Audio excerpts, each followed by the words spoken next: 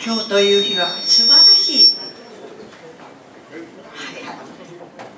小川ご夫妻に本当にあのおめでとうという言葉を何度も何度も申し上げて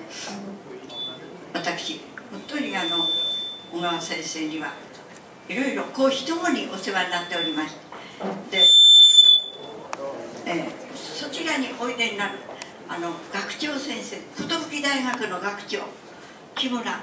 海伝先生です。の元で、えー、大学をやっておりますけれども